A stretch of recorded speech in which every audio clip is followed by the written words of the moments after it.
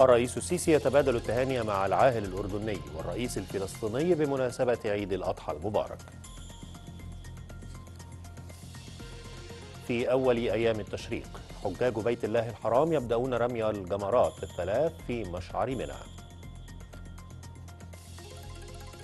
عودة الهدوء إلى شوارع كولومبو وواشنطن تحض قادة سريلانكا على العمل سريعا لمعالجة الاستياء الشعبي.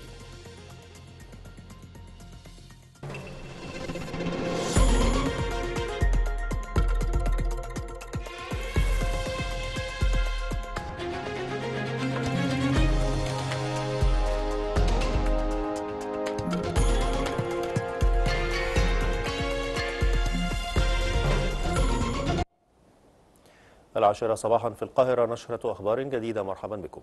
أجرى الرئيس عبد الفتاح السيسي اتصالا هاتفيا مع العاهل الأردني الملك عبد الله الثاني بن الحسين للتهنئة بعيد الأضحى المبارك. وعبر الرئيس السيسي عن خالص تمنياته لشعب وحكومة الأردن الشقيق بكل التقدم والازدهار وأعرب الملك عبد الله عن تقديره لمصر حكومة وشعبا. كما تلقى الرئيس السيسي اتصالا من الرئيس الفلسطيني محمود عباس بمناسبة عيد الأضحى المبارك متمنيا لمصر وشعبها دوام التقدم والازدهار. أفرج قطاع الحماية المجتمعية بوزارة الداخلية عن 1270 نزيلا من مراكز الإصلاح والتأهيل ممن استوفوا شروط العفو. جاء ذلك تنفيذا لقرار الرئيس عبد الفتاح السيسي بمناسبة عيد الأضحى المبارك. قادر يكون إنسان جديد من حقه فرصة للحياة. احتضن مركز إصلاح وتأهيل وادي النطرون الاحتفالية التي أقامها قطاع الحماية المجتمعية للمفرج عنهم. ممن استوفوا شروط العفو. تنفيذا للقرار الجمهوري رقم 297 لعام 2022 بشأن العفو عن باقي مدة العقوبة لبعض المحكوم عليهم بمناسبة الاحتفال بعيد الأضحى المبارك. قادر يكون إنسان جديد من حقه فرصة للحياة. شعور جميل إن أنت طالع تحضر العيد مع أهلك وسط أسرتك شعور لا يوصف. أحب أشكر سيادة الرئيس بمناسبة العفو وعيد الأضحى وإن أنا قاعد مع اهالينا بقول له كل سنة وحضرتك طيب. ودايما كده مفرح قلب كل الشعب المصري كله. بشكر سياده الرئيس عبد الفتاح السيسي مش بس على العفو لا كمان على الانجازات الكتير قوي اللي إحنا شفناها في التلفزيون. البلد بتتغير مشاريع كتير في كل حاجة في الطرق ككباري كمصانع كل حاجة في البلد اتغيرت. 1270 نزيلا تم الإفراج عنهم بالعفو الرئاسي وفقا لما أسفرت عنه أعمال اللجان المشكلة لفحص ملفات النزلاء. وتحديد من تنطبق عليهم شروط العفو بعد أن تم تأهيلهم وفقا لأحدث نظم الإصلاح والتأهيل وتوفير سبل الرعاية المختلفة لهم اجتماعية وتعليمية وصحية ومعيشية وثقافية لضمان عودتهم للمجتمع أفراد صالحين. هنأهله وناخد بإيده نعلمه. صنعت في إيده تبقى ليه طوق النجاة. أحب أشكر السيد الرئيس عبد الفتاح السيسي على الحياة الكريمة اللي منحها لنا. على كل شيء كويس عمله لنا. بالنسبة لمركز الإصلاح وتأهيل وادي النطرون للنساء حياة كريمة بمعنى الكلمة. من كل شيء اتعلمت حرفة يدوية إن شاء الله ما أخرج هعمل مشروع وأشتغل بالحرفة اللي أنا اتعلمتها هنا في في مركز الإصلاح. كل مجالات التصنيع أي حد في- معاه صنعه بيشتغل ويتصنع في في مراكز إصلاح وتاهيل بشكر الرئيس عبد الفتاح السيسي على كل حاجة حلوة عملها لنا. وإحنا هنا بنتعامل أحلى معاملة وبنتعلم جوة. مركز فيه كل حاجة كويسة. طبعا في المركز الطبي على أعلى مستوى في فصول نحو أمية للي عايز يتعلم في فصول آه، في ورش في تعليم مهن في الحاجة اللي أنت بتحب تشتغلها بره أنت بتلاقيها وب- وبتشتغلها وبتتعلم مجال جديد. هنساعده يبدأ من جديد وبكل حب إحنا معاه. لحظات من الفرحة عاشها المفرج عنهم بعد أن فتحت أبواب مراكز الإصلاح والتأهيل لخروجهم إلى المجتمع.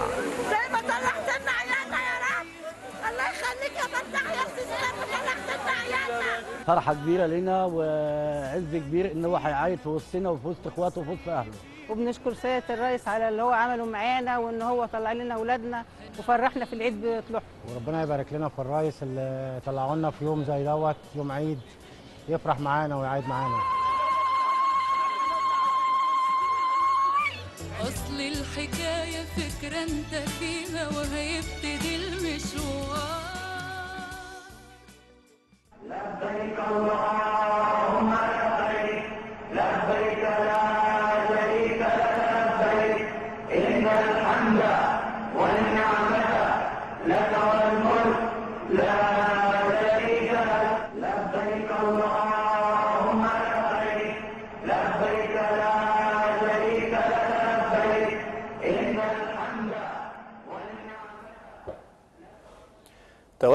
حجاج بيت الله الحرام على مشعر منى لقضاء أيام التشريق الثلاثة حيث يرمون الجمرات الثلاثة مبتدئين بالصغرى ثم الوسطى ثم الكبرى تأسيا بسنة المصطفى صلى الله عليه وسلم بعد أن رموا أمس جمرة العقبة الكبرى. وقد هيئت منشأة الجمرات في مشعر منى لاستقبال ضيوف الرحمن لرمي الجمرات بتفويج منظم واتسمت حركة الحجيج بالانسيابية مع تطبيق الإجراءات الاحترازية.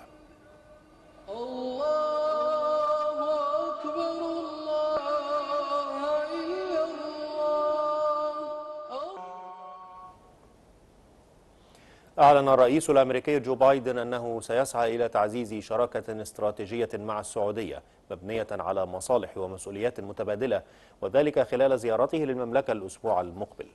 جاء ذلك في مقال رأي للرئيس الأمريكي نشرته صحيفة واشنطن بوست أمس السبت. أعلنت الوكالة الدولية للطاقة الذرية أن إيران زادت من مستوى تخصيب اليورانيوم في منشأة فوردو الموجودة تحت الأرض باستخدام أجهزة طرد مركزي متطورة. تقدم ملموس يبدو أن إيران قد أحرزته في ملفها النووي بحسب الوكالة الدولية للطاقة الذرية التي أكدت زيادة طهران مستوى تخصيب اليورانيوم باستخدام أجهزة متطورة في منشأة فوردو النووية. وقال تقرير سري موجه لدول الأعضاء أن الوكالة الدولية تحققت من أن إيران بدأت في تغذية سلسلة تتألف من 166 جهاز طرد مركزي من طراز IR6 بغاز سادس فلوريد اليورانيوم المخصب بنسبة تصل إلى 5% ويعني استخدام مثل هذه الأجهزة المعدلة إمكانية تحول إيران بسرعة وبسهولة أكبر إلى مستويات تخصيب أعلى نقاء. حيث عبر دبلوماسيون غربيون عن قلقهم من استخدام هذه السلسلة من أجهزة الطرد المركزي. وتعد هذه الخطوة الأحدث ضمن عدة خطوات اتخذتها إيران لتجاوز القيود التي فرضها اتفاق عام 2015 على أنشطتها النووية. في وقت وصلت فيه محادثات إحياء الاتفاق النووي إلى طريق مسدود. قال حاكم منطقة دونتسك بأوكرانيا إن ما لا يقل عن ستة أشخاص لقوا حتفهم وأن هناك مخاوف أن يكون أكثر من 30 شخصا محاصرين بعد أن أصابت صواريخ أوراغان روسية, روسية مبنى سكنيا مؤلفا من خمسة طوابق في المنطقة ما أدى إلى انهياره.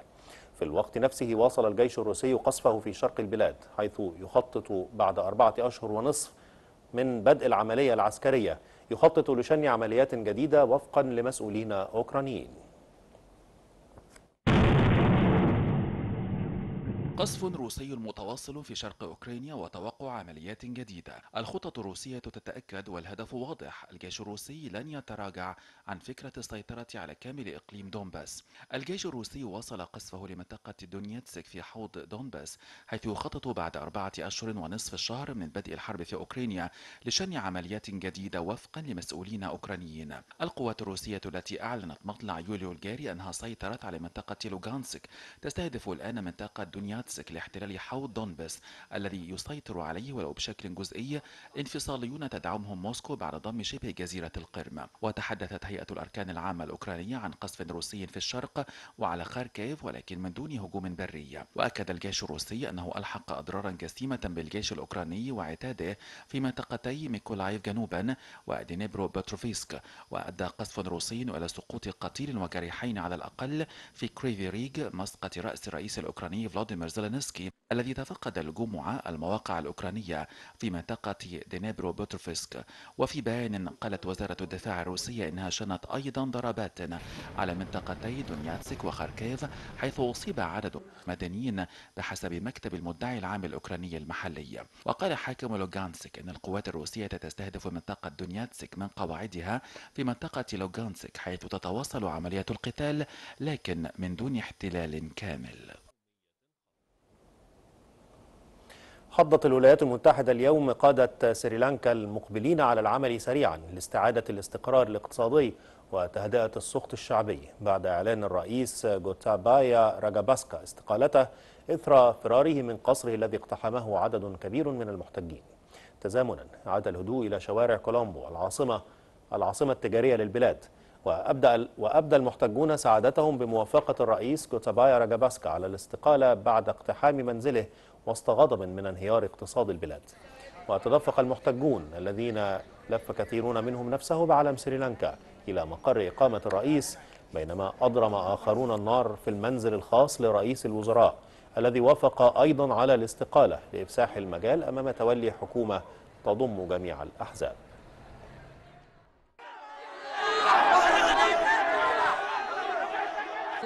سحيقة من الاضطرابات سقطت فيها سريلانكا ولن تخرج منها بسهولة. وما يجري الآن لا يعدو أن يكون مقدمات لأزمة أكبر بكثير. فالاحتجاجات التي تشهدها البلاد منذ شهور والتي شهدت عزل رئيس وزراء البلاد وتعيين رانيل وكريمسينجا بديلا ما زالت مشتعلة. ودفعت رئيس البلاد لإعلان التنحي لكن بعد أيام. رئيس البرلمان السريلانكي قال في بيان إن الرئيس جوتابايا راجاباكسا سيتنحى عن منصبه يوم الأربعاء المقبل تحت وطأة الضغوط الشعبية. بعد الاحتجاجات العنيفة التي اندلعت السبت واقتحم خلالها المتظاهرون المقر الرسمي لإقامة رئيس البلاد وأضرموا النار في المقر الخاص برئيس الوزراء في كولومبو. بيان رئيس البرلمان جاء بعد تصعيد مأساوي للاحتجاجات السلمية المناهضة للحكومة والمستمرة منذ شهور على وقع أزمة اقتصادية حادة تخنق البلد الذي يبلغ تعداد سكانه 22 مليون نسمة. لم يصدر الرئيس نفسه أي تصريح حتى الآن في حين أوضح ماهندا يابا أبيورانيدا أن راجاباكسا أبلغه بأنه سيتنحى عن منصبه يوم الأربعاء لضمان تسليم سلمي للسلطة. داعيا المواطنين لالتزام الهدوء والحفاظ على السلم العام. وقال مكتب رئيس وزراء سريلانكا رانيل وكريمسينجا في بيان السبت إنه مستعد للاستقالة لإفساح المجال لتشكيل حكومة تضم جميع الأحزاب على الرغم من أنه لم يتضح على الفور ما إذا كان ذلك أو الإجراءات التي اقترحها رئيس البرلمان ستحل هذه الأزمة. ولم يتمكن أفراد الجيش والشرطة من التصدي لحشود المحتجين الذين رددوا شعارات تطالب الرئيس جوتابايا راجاباكسا بالتنحي في ذروة غضب شعبي متصاعد إزاء أسوأ أزمة اقتصادية تشهدها البلاد منذ سبعة عقود. في حين أفادت مصادر في وزارة الدفاع أن الرئيس نفسه نقل من المقر الرسمي الجمعة حفاظا على سلامته قبيل الاحتجاج الذي كان متوقعا. وقال مصدر حكومي إن رئيس الوزراء نقل أيضا إلى مكان آمن. وتئن سريلانكا تحت وطأة نقص حاد في النقد الأجنبي أدى إلى تقليص الواردات الأساسية مثل الوقود والغذاء والدواء مما دفع البلاد إلى أسوأ أزمة اقتصادية منذ استقلالها في عام 1948 وقعت الولايات المتحدة وتايلاند اتفاقيات لتعميق العلاقات القوية بين البلدين وذلك في إطار تكثيف واشنطن جهودها لمواجهة نفوذ الصين المتزايد في آسيا. وتعهد كل من وزير الخارجية الأمريكي أنتوني بلينكن ونظيره التايلاندي دون برامودويان برامودويناي بتعزيز الشراكات في مجال تغير المناخ وإنفاذ القانون والتعاون الأمني. وأشار بلينكن خلال اللقاء إلى أنه سيتم نقل الشراكة بين واشنطن وتايبي إلى القرن الحادي والعشرين مضيفا أن تايلاند حليف مهم في المنطقة.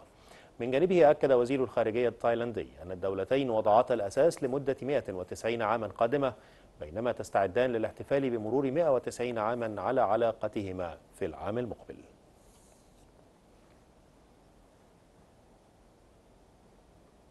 يواصل الناخبون في اليابان التصويت لتجديد نصف مقاعد مجلس الشيوخ في انتخابات يطغى عليها. اغتيال رئيس الوزراء السابق شينزو آبي قبل يومين خلال تجمع انتخابي في نارا بغرب البلاد. وتشير التوقعات إلى أن الائتلاف الحاكم المؤلف من الحزب الليبرالي الديمقراطي بزعامة رئيس الوزراء الياباني الحالي فوميو كيشيدا وحليفه كوميتو قد يفوز بأكثر من 70 مقعدا من أصل 125 سيتم في الانتخابات التي تجري كل ثلاث سنوات. وضعت الحكومة الكينية ومنظمة الصحة العالمية حجر الأساس لأول مركز للطوارئ الطبية في إفريقيا بالعاصمة الكينية نيروبي بهدف الإسراع في التصدي للطوارئ في المنطقة.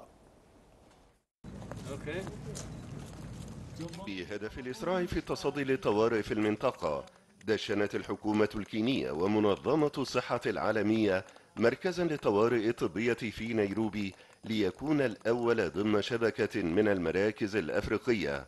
وستضم المنشأة مركزا للتدريب وسيعمل بها طاقم من المتخصصين يمكن التصدي لطارئ طبي في غضون الساعات الأربع والعشرين الأولى من بدايته كما تضم المنشأة مخزونات من المعدات الطبية. نعاني من فجوات كبيرة في الاستعدادات يجب معالجتها لا سيما فيما يتعلق بالتدريب وتعزيز القوة العاملة بالطوارئ. لقد خلص تحليل لمنظمة الصحة العالمية أن أقل من 10% من الدول بإفريقيا لديها القوة العاملة المطلوبة. للإعداد والرصد والاستجابة لمخاطر الصحة العامة. ولهذا السبب تعاونت المنظمة والحكومة الكينية لبناء مركز طوارئ إقليمي. وتقول منظمة الصحة إنها تريد المساعدة في تشكيل هذه الفرق للرد السريع في كل دولة أفريقية. The setting up of this WHO logistics إنشاء مركز لوجستيات منظمة الصحة العالمية في كينيا يتم بالتعاون مع معهد بيوفاكس الكيني. أول منشأة حكومية لتصنيع اللقاحات البشرية. وستصبح كينيا مركزا إقليميا للمعدات الطبية التي ستساعد الدول المجاورة في الحصول على وسائل العلاج المطلوبة بشكل أسرع ووفقا للمنظمة تواجه أفريقيا أكثر من 100 طارئ صحي في العام وهو أكثر من أي منطقة أخرى في العالم.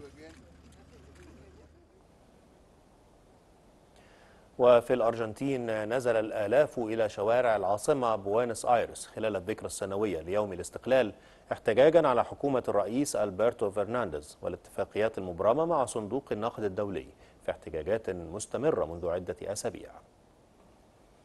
لا تزال الأرجنتين تعيش على وقع الأزمة الاقتصادية التي تعاني منها. حيث تتواصل الاحتجاجات في شوارع العاصمة بوينس آيرس ضد ارتفاع أسعار الوقود وغلاء المعيشة.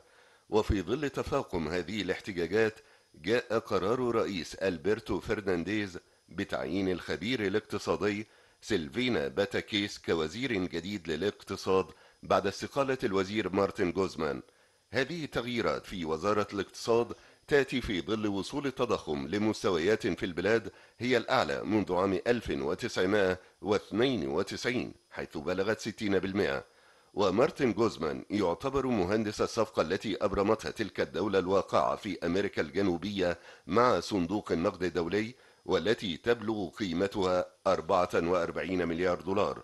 وكان من المقرر أن يقوم جوزمان بزيارة لفرنسا أوائل الشهر الجاري لمناقشة إعادة هيكلة حوالي ملياري دولار من الديون مع نادي باريس للمقرضين السياديين والذي ينظر إليه على أنه مفتاح لإعادة جذب الاستثمارات الأجنبية خاصة فيما يتعلق بالبنية التحتية والطاقة. وكانت الأرجنتين قد شهدت في الأسابيع الماضية سلسلة من الإضرابات حيث قام الآلاف من المواطنين باحتجاجات ضد الحكومة ضد غلاء المعيشة إضافة إلى إغلاق سائق الشاحنات الطرق احتجاجا على ارتفاع أسعار الوقود. وختام النشرة تذكرة بعناوين أهم الأخبار. الرئيس السيسي يتبادل التهاني مع العاهل الأردني والرئيس الفلسطيني بمناسبة عيد الأضحى المبارك. أول أيام التشريق. حجاج بيت الله الحرام يبدأون رمي الجمرات الثلاثة في مشعر منى. عودة الهدوء إلى شوارع كولومبو وواشنطن تحض قادة سريلانكا على العمل سريعا لمعالجة الاستياء الشعبي. نهاية النشرة إلى اللقاء.